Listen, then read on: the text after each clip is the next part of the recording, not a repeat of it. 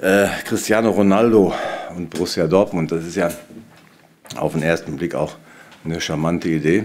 Erstmal bin ich ganz ehrlich, ich liebe diesen Spieler. Und äh, zweitens ist er einer der größten Spieler, die die Welt jemals hervorgebracht hat. Und wie gesagt, äh, ist auch sehr charmant. Äh, Cristiano Ronaldo hier im Signal Iduna Park, dem größten und wie ich finde schönsten Stadion mit extrem bezahlbaren Ticketpreisen. Das hätte ja was gehabt.